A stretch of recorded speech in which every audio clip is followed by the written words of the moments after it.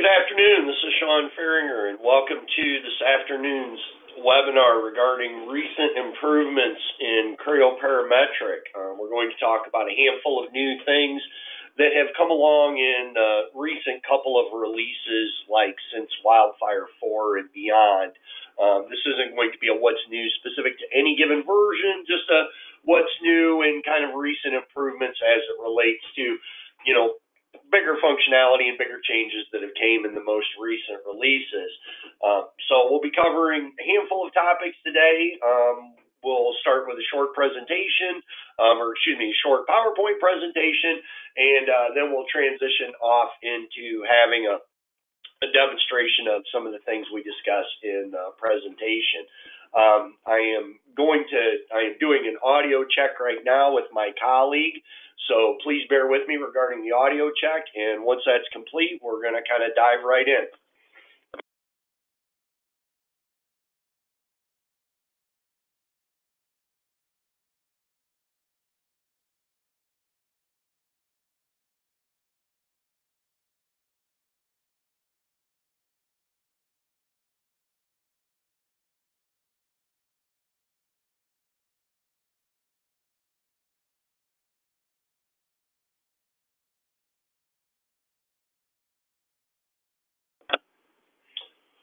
It looks like our audio check is working okay. If any individuals participating in the webinar are having difficulty um, with respect to the audio on your end, um, don't hesitate to uh, go ahead and ask a question or shoot a chat message out to me um, and let me know that you're having some audio difficulty with the presentation in terms of hearing it.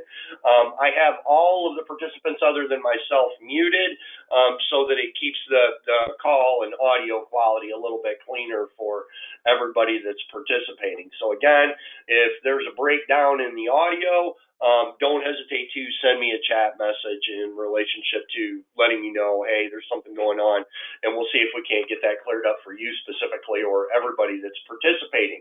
So with that being said, we'll go ahead and get started here this afternoon.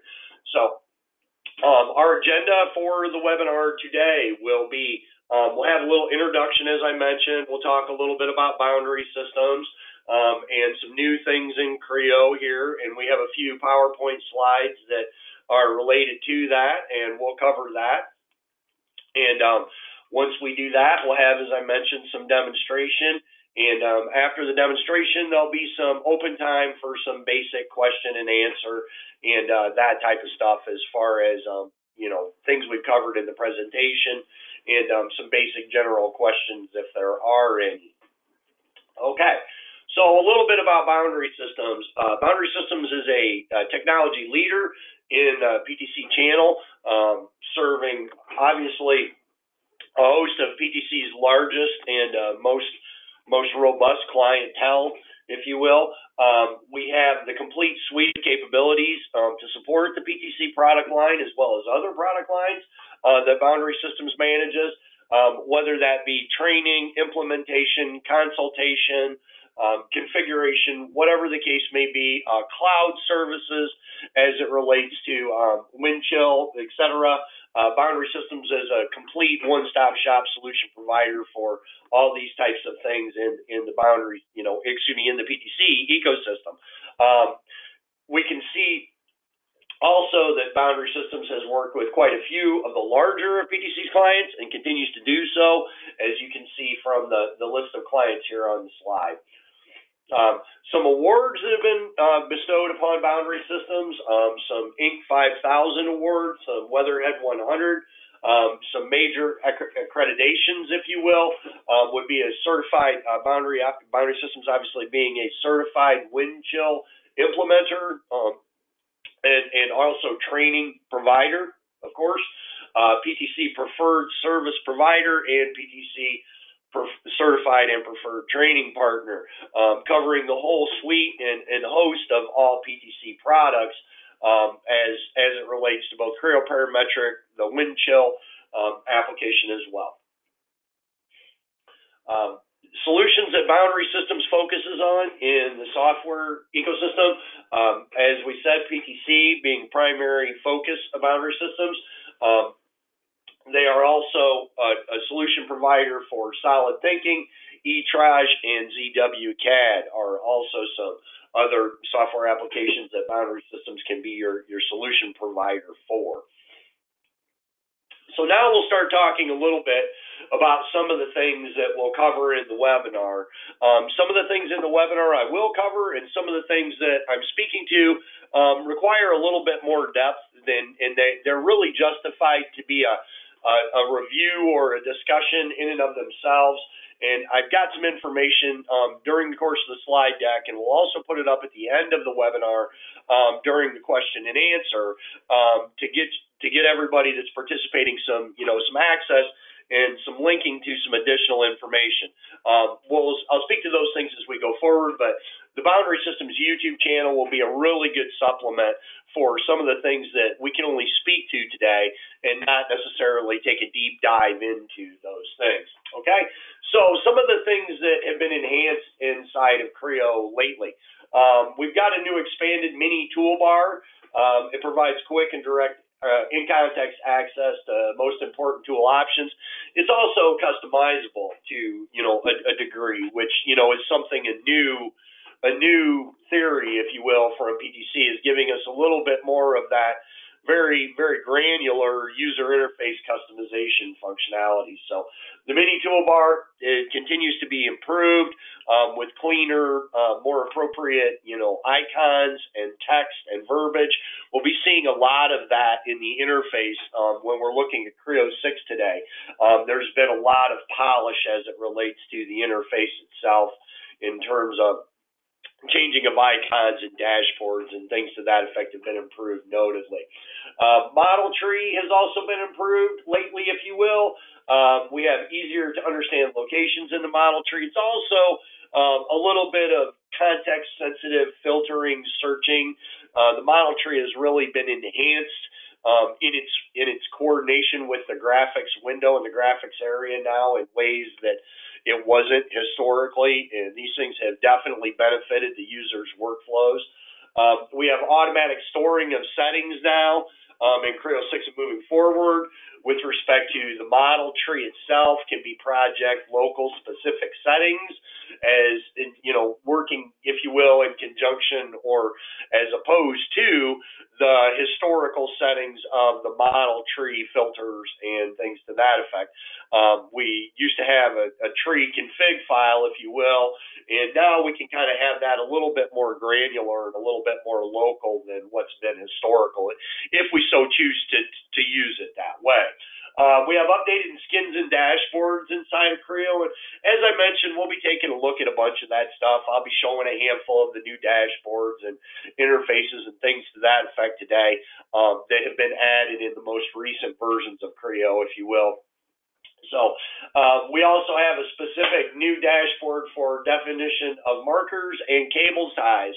Um, any of the participants that um, are in, in engaged in uh, what we would say the schematics and more likely possibly the cabling parts of the application um, will enjoy the benefit of having striped wires now, both by definition and visuals, if you will. Um, this will be one of the things that we'll take a quick look at today during the presentation. Uh, we'll be taking a look at the context of, you know, how that looks on the model and what the dialogue wo- looks like, and a little bit of working with the new striped wires dialogue, if you will. Some additional enhancements that have come along are also the context of sheet metal. We have support for corner seam and corner relief options with neighboring walls. Um, this has to do with, you know, when we perform certain wall applications in sheet metal, the auto reliefs and such and the reliefs that are available to you um, to, you know, if you will, accommodate the bend in question in a sheet metal operation have now been kind of improved in terms of these relief operations. And not only that, but their workflows about using them and whatnot has been improved, you know, notably inside of sheet metal. Uh, volume sweep now allows for the creation of a helical trajectory curve. You can kind of see a little bit of the view in that. Um, in the lower left-hand graphic figure here on the screen right now. Um, this allows for you to, you know, get a get a curve back out of the sweep, if you will, in a way that you know historically kind of wasn't wasn't very typical. Um, we also have a nice preview theory now for drill tip angle, and it's a controllable parameter um, inside of the hole tool. Okay. Um, one of the things I can't really show, uh, but arguably will be a welcome change for a host of users, and as well as not only the users, I would say, but arguably um, a, a, great majority of our CAD admin group um, will probably, you know, be thrilled that we now have the opportunity to do automatic notification for maintenance releases. So historically, it's been well, okay, I've got to go. Excuse me, I've got to go log into PTC.com today and determine if I have a new maintenance release and if I'm waiting on a particular release for, for instance, an SPR or something to that effect that I know is coming, a solution for an SPR that I know is coming, and uh, you know a, a future you know date code release, if you will. Um, historically, it's kind of been the onus on the user to maintain a checking regime as to when and if that release is available to you.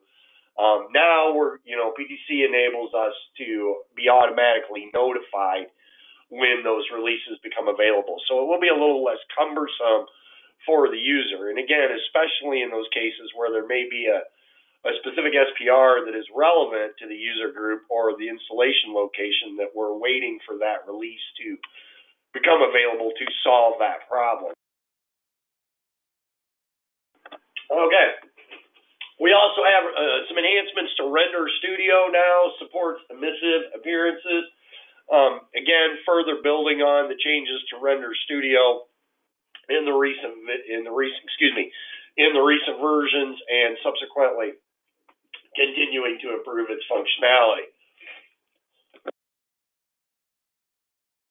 We also have some additive manufacturing enhancements that have been taking place. Um, and we have now some new lattice generation functionality. I'll be briefly showing some of the lattice functionality today, just in a quick theory.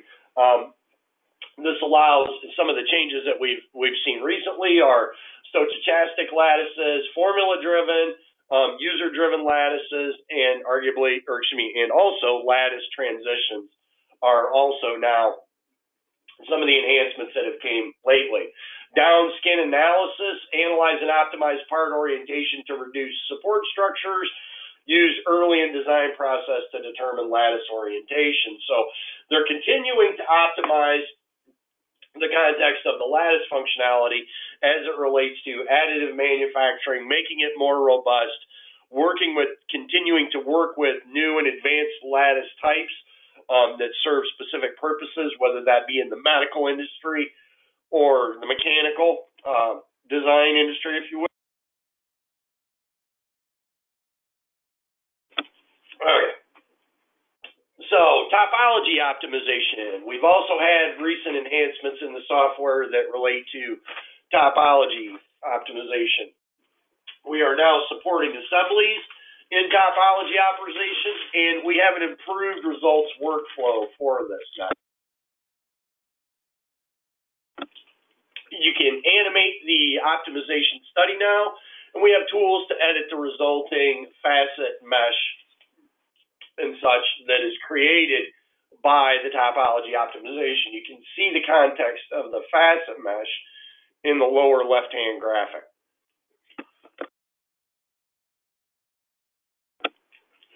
We also have improved geometry reconstruction to control the level of detail and control the, the reconstruction from a facet within freestyle. So we're starting to lever the freestyle functionality into the topology optimization as well. Augmented reality. PTC continues to be the leader in advancement in both, um, excuse me, AR and IoT technology. Um, recent enhancements with augmented reality. We can publish and store up to 10 models per user, and the models can be published from Creo, from Creo Elements Direct, from Windchill or from Creo View now. You have access rights control for viewing models in um, augmented reality. Um, public, anyone with a link can view, and restricted, you can add or remove um, access rights at any time.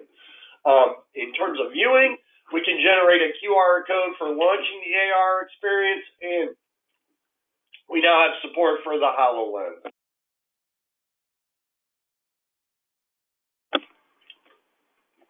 Creo Simulation Live. This is a very big, um, big, new and, and, and, big lift, I guess, if you will, for PTC.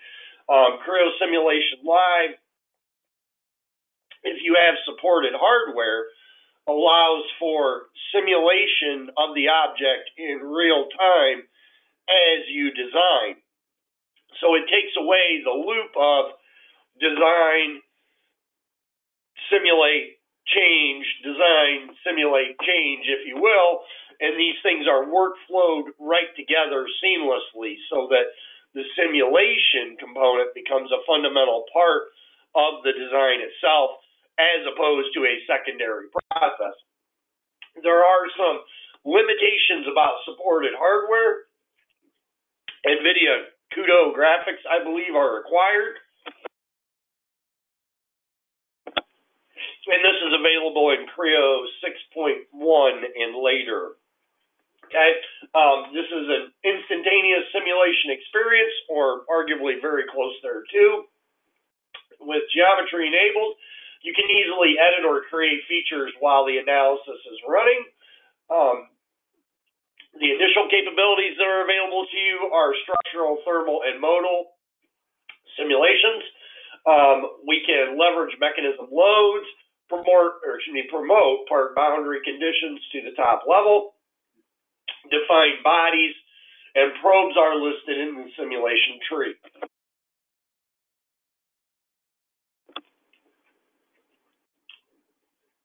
Okay, with that, um, here's some technical information um, about both myself, how to contact myself, as well as how to contact our sales team.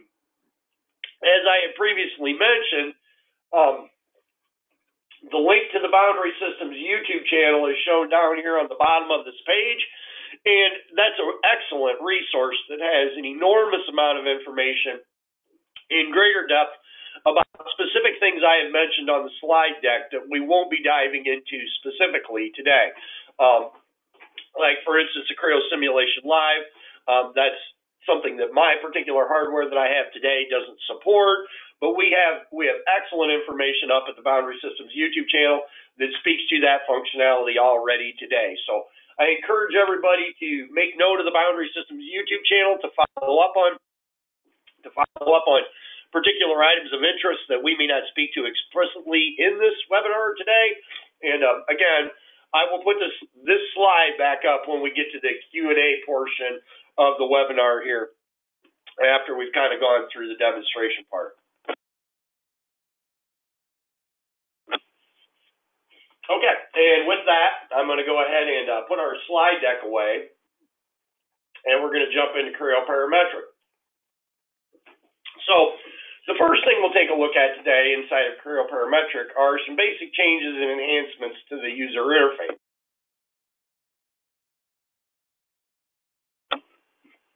So I'm going to go ahead and open up a component here um, that we're going to go ahead and uh, just take a look at. So let me go ahead and get my directories and this component set up here.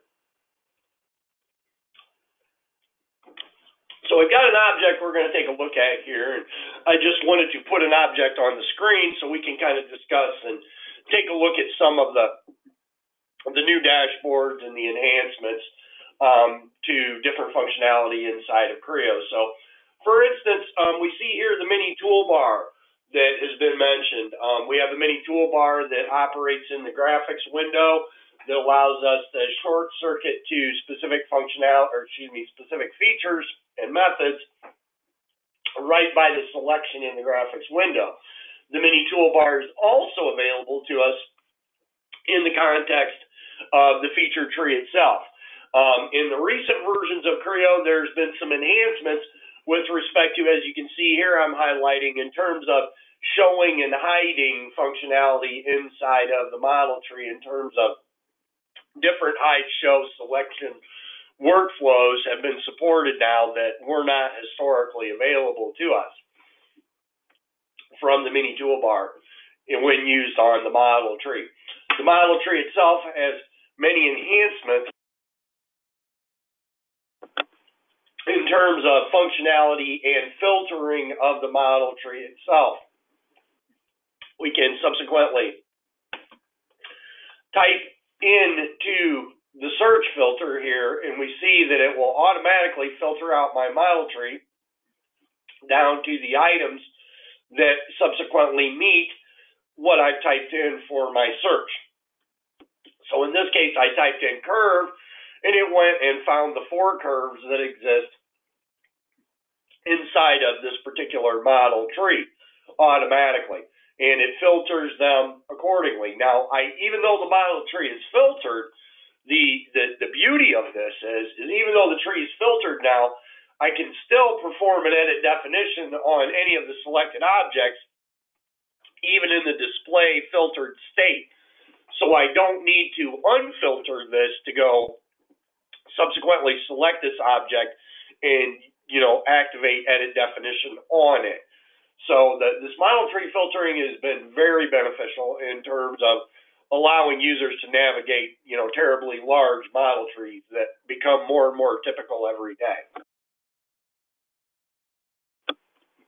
When we don't want to filter the model tree anymore, we can simply click the X to clear that and it clear what has been typed in for the search. And as soon as we clear what has been typed in for the search, you see that it reestablishes the default condition of the model.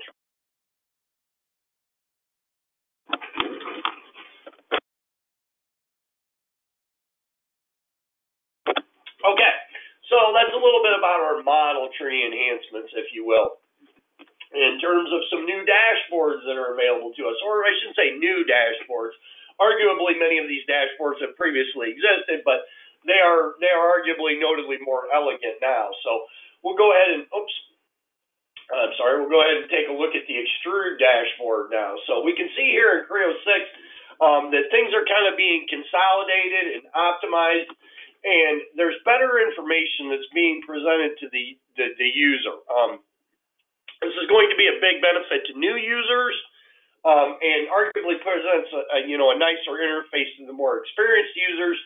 But historically, where we would have only had these icons to designate solid and surface, we now gain the benefit from having the dashboard layout rearranged that more information and, and you know bold information for controls and what they apply to is now being included.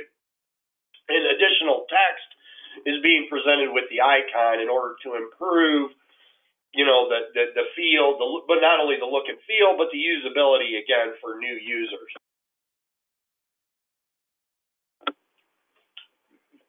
And some of our, our flyout menus arguably being the same, but the dashboard has been notably enhanced. We also see that there are, you know, some tips that are being brought into some of the open space that has existed on the on the dashboard. Here we see you know, with respect to the extrude, yeah, we're going to use that to create 3D geometry by translating 2D sketch, um, normal to a plane, etc. And you've got the little read more here that you can kind of queue up as well, and that will activate additional information um, once you select that if your help center and all those things are kind of linked into that as far as bringing up additional information for the new tips that are included in the dashboard, if you will. But the dashboard interface for Extrude is one of the many that has been enhanced. Um, virtually all of the dashboards like that have been touched and improved both for the elegance of you know existing users and the ease of use and the the, the, the quickness of we'll say retention and take up for the training of new users now as it relates to the different, you know, interface to the dashboard. Everything is kind of clear and laid out, and you know, bolder text is being used um, where applicable to help indicate different aspects of the dashboard, um, and, and the significance of different settings in the dashboard, if you will. So that's a little bit of the, the nature of different, excuse me, different, uh, if you will, you know, changes to the dashboard. There will be a lot of that look and feel that will have subsequently um, transposed on the model. So um, one of the things we'll go ahead and do now is we'll we'll quilt this thing up here real quick into a surface, or excuse me, into a solid. Um, we'll merge this up real quick and then I'll show a couple of additional tools on it. Here again, you see there's a little bit of enhancement with respect to the merge tool. And again, what what is possibly going to be most beneficial for new users and such is the, the tips and the inclusion of guided information that's going to become a part of the dashboard now uh, moving forward. So we'll go ahead and uh, merge this up and solidify it here. And um, again, virtually all of these dashboards are are are touched in some way. Here we see um, I've reactivated the solidification dashboard, and we see that it has been improved and modernized as well in the most recent in most recent versions. And it also benefits with the context of not only showing us icons but also text. Okay, so let's have a look at the new hole tool enhancement. So I'm going to go ahead and place a hole here on the model for us to take a look at preview. So bear with me while I deploy this hole. And we're going to go ahead and make it a standard hole. And then we'll go ahead and turn our preview on. And we see here in the shape, I have the, the drill point control and I have the preview that is applicable to it. So when I change the drill point profile on the control, I subsequently see the change in the point profile on the model.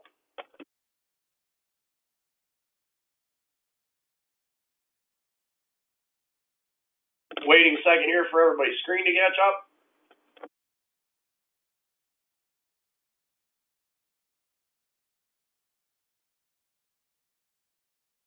Okay, so everybody's screen's up and you should be able to see the new enhancement of the drill point profile kind of being shown there. Okay, so that's just one of the many enhancements. And again, you see here that the, the drill point, or excuse me, the hole tool has also benefited from enhancements now to the dashboard. So we'll go ahead and say, okay, and just leave that hole behind.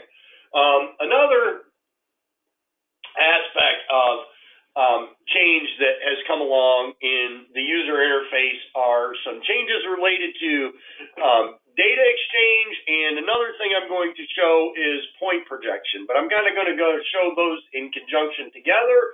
So we're going to kind of close this model, and we're going to open up a different model now for the purpose of moving the discussion forward. So in this case, we're going to go ahead and open a step file.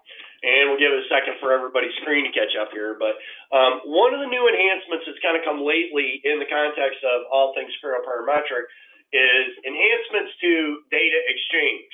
Um, Creo is becoming arguably the most robust CAD package on the market as it relates to data exchange, uh, both in the ability to customize it and work with it, and arguably um, unparalleled in the context of being able to act on imported geometry in a meaningful way. Um, whether that's manipulating uh, imported features like holes or surfaces based on dimensional information, or that's recognizing features on an imported model.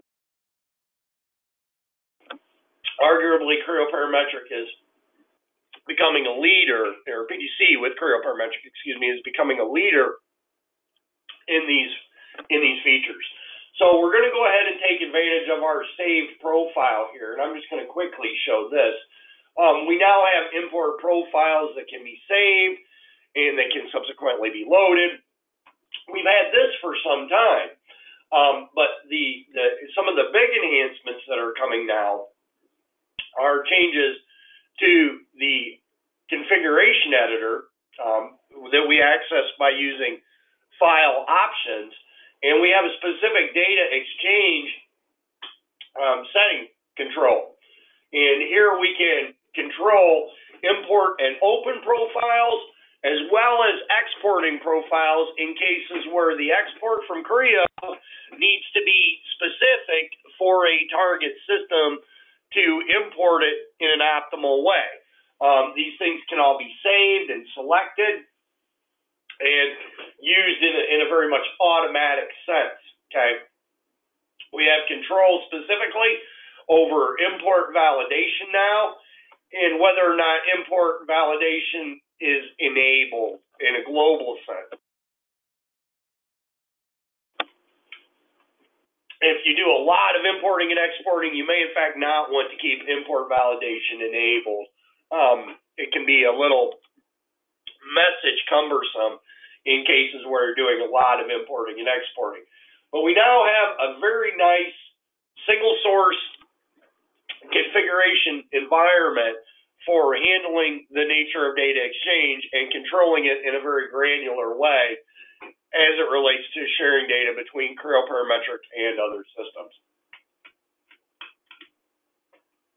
Okay, so another thing that we'll talk about is an enhancement of a, a feature creation type um, that we've been given recently. So one of the things we've been given recently from PTC is the ability to create projected points. So I'm going to select this vertex here on the model in the area of the cursor, and you can kind of see this. You'll see the screen catch up here shortly. Bear with me. Okay, now the screen's caught up. So what we can do now is subsequently select a vertex, a line, endpoint, something to that effect, and and simultaneously hold the control key and select a surface and then set our point type to be project as opposed to offset in this case. See, historically this would only create an offset.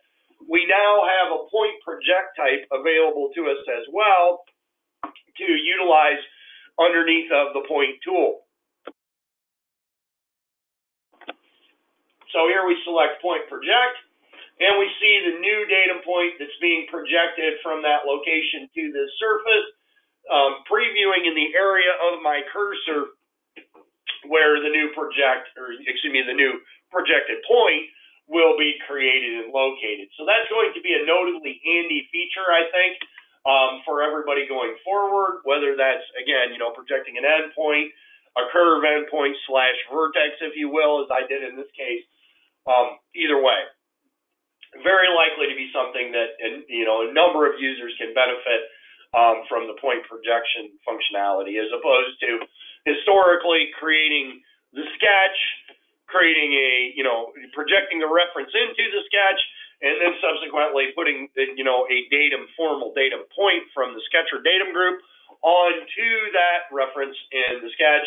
Um, that whole process has been you know consolidated into the context of being able to be just another datum point in a datum point feature. So that's likely to provide some notable benefit for folks moving forward. Um, the next thing we're going to take a look at today are some enhancements that have come along in the NC system of the software. So um, some recent enhancements that came along in some recent versions of Creo um, provide for the effect of specific high-speed uh, machining sequences. We now have, as we see here, um, that I'm pointing to here in my ribbon, I'm waiting for your screen to catch up now. As we see here in the ribbon, um, in the area that I'm pointing to with the cursor, um, we have a group of new high-speed machining uh, sequences available to NC. These are exclusive to high-speed machining type techniques. Um, we have now we have now or excuse me, the software now includes um, a technique of HSM rough, HSM rest roughing, HSM finishing, and HSM rest finishing. Um, when used in conjunction with one another, um, this largely can cover the greater share of depth of all of, we'll say, the organic shapes of roughing and finishing those types of things out in CNC manufacturing equipment. Um, the new sequences are very, very much easy to use and very much work in the same definition as the pre-existing sequences and cycles did. Here we see I've activated the ribbon for uh, the HSM rough sequence. Um, we see it looks very similar to the context of what we would expect for um, the standard HSM, or excuse me, the standard PTC roughing or volume roughing type dashboards. So everything is, is very consistent user interface for the new high-speed machining. Um, the parameter system, or excuse me, the parameter listings are very similar um, to the largest degree possible for all of the all of the parameters that support H, the new HSM cycles. Wherever possible, PTC has used the same naming and the same theory behind parameters inside of the new HSM sequences so that they should be very familiar to people that are already using Creo in um, CNC manufacturing. Um, the sequences do a very nice job. Excuse me. Oh, pardon me. Sequences do a very nice job with the machining that they do. I'm going to activate and display a pre-machined set on this part to show the results from the HSM um, system that's been created here. We have an HSM rough, an HSM rest rough, um, HSM finish, and HSM rest finish active in the model tree right now. And um, this, the finishes that are listed there can be more considered to be a semi-finish, if you will, as much as anything. Um, we're going to go ahead and look at some results from um, those machinings now. So I'm going to go ahead and open some results here. So um, this would be the result that I believe is, is, is shown after roughing. So this would be, you know, what we'll see here when your screen catches up and it finishes loading is the results of the NC NC machining after roughing. And we can see here on my model, it's done a very nice job of keeping the sculpting of, of the roughing around on the model on all sides um, if you will, for the new HSM sequences, do a very good job that way. Um, we'll also take a look at um, this model after finishing. So this would be after the some, you know, after the finishing cycles from the HSM, as I mentioned. Um, what's being loaded now for display. So bear with me while it takes a minute to load this file, you know, or load the load the finished machining information. And here we can kind of see that um, while it might not be finished explicitly, it's, it's definitely obtained a semi-finishing result. And the the results of the the the HSM sequences have done a very good job in cusp management, as well as the quality of the result for the finishing sequences. So here we see the result of the, the finishing, as I mentioned. And these new HSM sequences are available, I believe, in Creo somewhere late Creo 4 or Creo 5 and later um, to be deployed onto the ribbon. I do believe um, that the, the use of those might require a module, a high-speed machining module for Creo, but please don't quote me on that because I'm the technical guy, not the sales guy. Um, when in doubt at all, please refer to our sales team as they're going to have the most up-to-date information about module breakdowns and licensing and functionality as far as things to that effect go. But that's that's just kind of a quick view of our new HSM uh, machining, if you will, um, that's available in the later versions of Creo. And for those that do what we would refer to as a lot of organic machining, or ball or sculpted tool work where we're using a ball end mill or a bull end mill, if you will, arguably um, those sequences should pay a great deal of dividends to those folks uh, using that work or doing doing that work in, in great amounts. Um, so we'll go ahead and close this now. Um, the next thing we're going to take a look at are the striped wires that have become available for cabling operations inside of Creo. So um, one of the things that's been a little bit difficult and you know arguably non-existent visually. So historically, we would we would define colors by name and assign them to wires, but we were only able to show solid colors. We weren't really able to show wires in the real context of how they look when they are multicolored and striped wires of some type.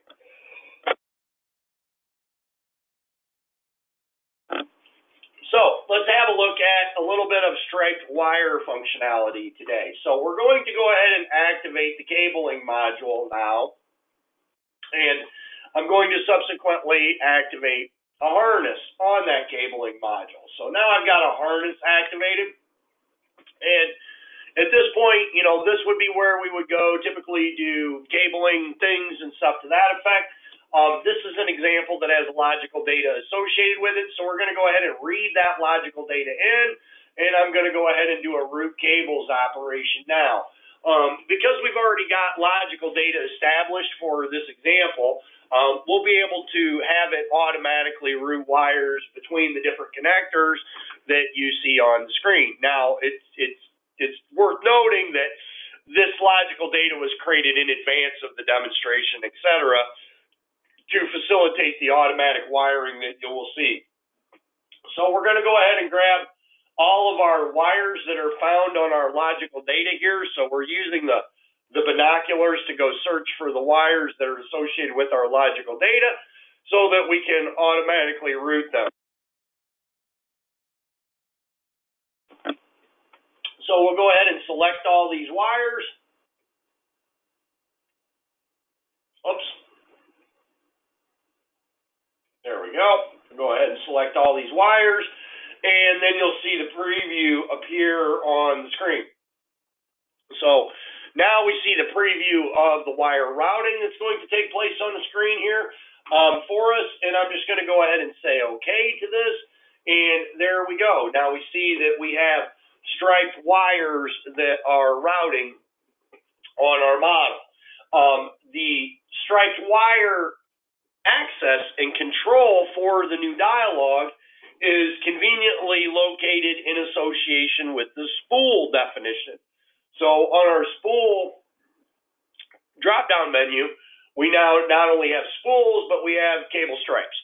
So we can utilize this interface that I'll be bringing up now by selecting cable stripes to define these types of striped wires.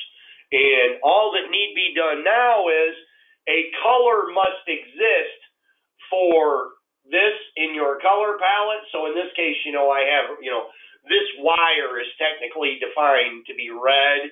It was not defined with the, the striped definition, and I, I applied the striped definition for the purpose of this demonstration.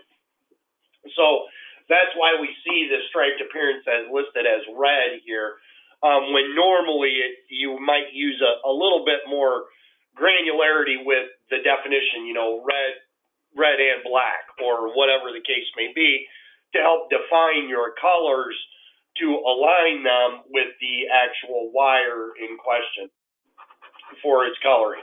But basically, in this case now, in, in this, we have the stripes themselves, and in, in here you can see we've got black and red stripes that are being deployed on the wire. And you can add sections to this, you can remove sections from this, and subsequently continue to update and configure the stripes on the wire to run linear or to run horizontal as you see, whatever the case may be. Um, they don't have to be displayed in one way or another, uh, but they subsequently can. So here we see like the ground is would be subsequently displayed as a yellow with a green stripe uh, because it's only got one section defined on the wire. And we see that we have a base color for the wire, and then we have the stripe color for the wire. And then depending upon the number of sections that you deploy, governs whether the stripes will be effectively horizontal or, you know, or I should say, run longitudinally or run radially around the wire when they are viewed in the graphics area.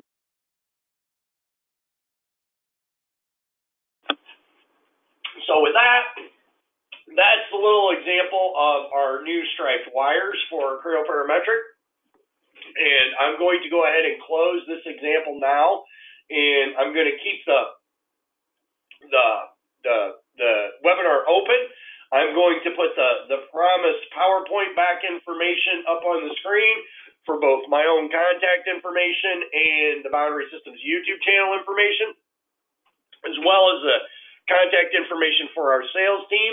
And at this stage of the webinar, I would encourage everybody that, that potentially has questions to utilize the GoToWebinar interface to ask those questions and type your question out to me, and I will speak to it, um, you know, to the group um, so that the whole group can benefit from your question.